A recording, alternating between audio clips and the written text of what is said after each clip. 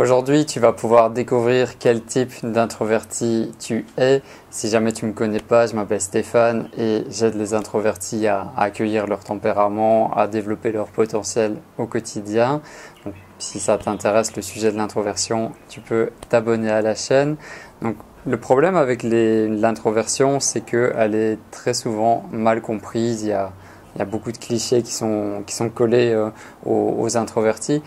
Par exemple, le fait que tous les introvertis seraient euh, des timides, ce qui est totalement faux, euh, que les introvertis euh, n'aiment pas les gens, soient sociaux. Enfin, il y a, plein, plein, plein de clichés autour de l'introversion.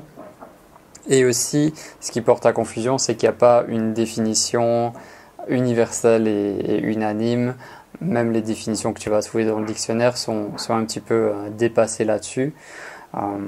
En général, ce qui revient souvent, c'est qu'un introverti, sa caractéristique euh, euh, commune avec les autres introvertis, c'est qu'il a besoin de, son cocon, il a besoin de se retrouver seul pour recharger ses batteries, il a besoin d'être dans un environnement voilà, qu'il qui connaît, c'est comme ça qu'il qu se recharge, tandis qu'un extraverti va plutôt chercher toutes les stimulations extérieures, euh, stimulations extérieures qui vont au contraire euh, épuiser l'introverti au bout d'un certain temps. Donc évidemment, tous les introvertis ne sont, euh, ne sont pas pareils, ne sont pas pareils, n'ont pas les mêmes comportements. Euh, et heureusement, il y, a, beaucoup de nuances dans l'introversion, beaucoup de comportements aussi différents, même si on a des, particularités communes.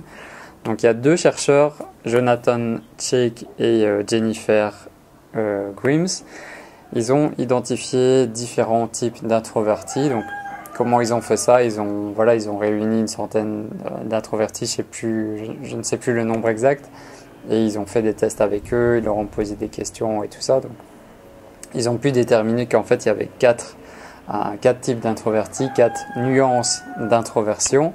Donc, il y a euh, l'introverti social, euh, le penseur, l'anxieux, et le restreint. On va les voir un, petit peu plus en détail.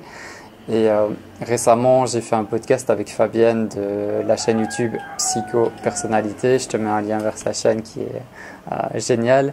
Elle, me parlait aussi que voilà, il y, y, a, y a aussi deux types plus profonds d'introvertis. Il y a les, les introvertis qui sont concrets et les introvertis qui sont abstraits. Moi, je suis plutôt un type introverti abstrait. C'est euh, voilà, si tu connais le MBTI, c'est les euh, les traits qui commencent par IN. Mais là, aujourd'hui, on va se concentrer sur les quatre euh, sur les quatre nuances d'introversion que ces chercheurs ont, ont, découvert. Donc, le premier introverti, c'est l'introverti social. Qu'est-ce qu'il a de particulier, lui? C'est que il aime passer du temps seul, c'est dans sa nature, il aime la solitude, mais il aime aussi socialiser. Il aime euh, rencontrer des gens, il aime, euh, il aime aller à l'extérieur. La seule condition, c'est que euh, va chercher plutôt des, petits groupes, des petits groupes de personnes qui sont compatibles avec lui, c'est-à-dire des personnes qui vont avoir euh, des intérêts communs, des passions communes, ou alors ça va être des amis proches ou la famille. Ah, donc voilà, il aime ça, il aime socialiser, mais dans, uniquement dans ces conditions-là. Ah, il va pas socialiser juste pour socialiser ou juste pour rencontrer des gens, ça, ça, ça ne l'intéresse pas. Et dans ce cadre-là, quand il est dans un petit groupe harmonieux ou avec ses amis, sa famille, euh, il n'est pas du tout timide, il n'est pas réservé et il aime partager euh, dans ces conditions. Le deuxième cas, c'est l'introverti penseur, ou il y a un autre nom aussi, c'est l'introverti introspectif. C'est tous les deux la même chose. C'est-à-dire qu'en fait, il est introverti euh, jusqu'à dans son processus de réflexion. Donc il est introverti euh, dans sa tête aussi, comment il va réfléchir. Il est souvent en mode auto-réflexion et son mental est très très présent. Il a une tendance aussi à se perdre très facilement dans, son monde imaginaire qui est euh, voilà débordant de choses et euh, il a beaucoup de créativité, beaucoup d'imagination. Ça va être souvent des, des introvertis qui sont des, des artistes. D'ailleurs, si toi aussi tu as envie d'échanger avec d'autres introvertis, on a une tribu qui s'appelle les introvertis rayonnants. C'est le premier lien dans la description. N'hésite pas à, rejoindre la tribu, ce sera avec plaisir qu'on t'accueillera. Le troisième type, c'est l'introverti anxieux. En fait, lui, il, il, préfère carrément être seul car il se sent mal lors des rassemblements sociaux, les endroits où il y a beaucoup de monde ou dans la foule, il va vraiment euh, être un peu paniqué. Il n'a il pas confiance en ses aptitudes sociales, il n'a pas confiance en sa capacité de, de, de, parler avec les gens, de socialiser, ça, ça lui fait peur. Évidemment, il est naturellement attiré par la solitude, mais parfois, même la solitude, même le fait d'être seul, d'être dans son cocon, dans sa coquille, ça va pas du tout diminuer son anxiété. ça, euh, c'est problématique, ça crée euh, beaucoup de souffrance pour ces, personnes-là. Il a aussi une tendance à, ressasser, à se remémorer euh, le passé ou à réfléchir trop à, ce qui va arriver. Donc, très mental aussi. Pas très à l'aise socialement et en fait ce, ce, type d'introverti là on est très très proche de l'anxiété sociale. Et tu peux me dire dans les commentaires si jamais ça t'intéresse que je te fasse des vidéos au sujet de l'anxiété sociale.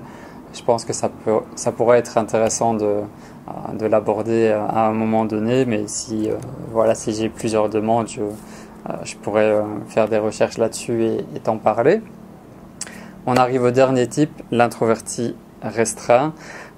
Ce type-là, c'est vraiment un introverti qui va prendre euh, beaucoup de temps, plus de temps que les autres dans, tout ce qu'il fait. Donc, toutes ses actions. Donc, il peut paraître d'être une personne assez lente parce qu'en fait, il réfléchit, euh, il réfléchit beaucoup et il va toujours aussi réfléchir avant, avant de parler, avant, avant de s'exprimer. Il est d'une nature euh, un peu plus passif que les autres, un peu plus en, retrait. Il planifie tout et il aime le contrôle. Et comme on l'a vu, ben, il, a besoin en fait de, plus de temps que, les autres. C'est ça qui le caractérise.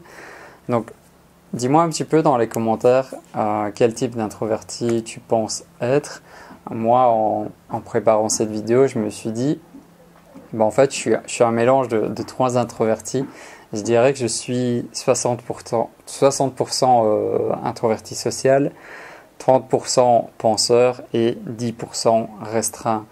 je me suis pas reconnu dans, l'introverti anxieux, mais j'en connais, je sais qu'il y, en a, aussi beaucoup qui, sont comme ça. Donc, dis-moi un petit peu pour toi, euh, voilà, qu'est-ce que tu, imagines par rapport à ça? Quel serait ton, euh, type d'introversion? Et si on a plusieurs, dis-moi ah, dis-moi lesquels dans les commentaires. Si tu as aimé cette vidéo, pense à t'abonner et comme je te disais, tu peux rejoindre la tribu des introvertis rayonnants. En plus, tu auras une, première formation gratuite qui te sera euh, offerte. Donc ça se passe dans la description, tout est expliqué. Prends soin de toi et à très vite pour une prochaine vidéo.